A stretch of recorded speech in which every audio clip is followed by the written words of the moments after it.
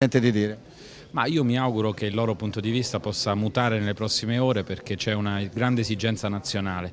I cittadini hanno dato fiducia al PD, hanno dato fiducia a tutto il Partito Democratico e io penso che oggi sia responsabilità di tutti provare insieme a realizzare questo obiettivo di fondo delle riforme. Poi è giusto discutere, è giusto confrontarsi, però c'è un momento in cui si decide, per cui io penso che questo momento sia arrivato per noi.